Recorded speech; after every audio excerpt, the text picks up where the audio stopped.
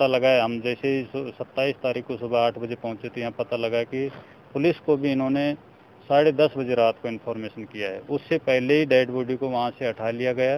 बिना police custody के ही इन्होंने डेड बॉडी को बाहर आउट कर दिया और और गले पर ड्रेसिंग के निशान थे। ड्रेसिंग की हुई थी। पूरा, पूरी ये छाती थी, वो पूरे खून से लथपथ थी। तो मुझे ये विश्वास होता है कि बच्चे ने आत्महत्या न करके हत्या की गई है या हत्या के लिए उनको उकसाया गया है। तो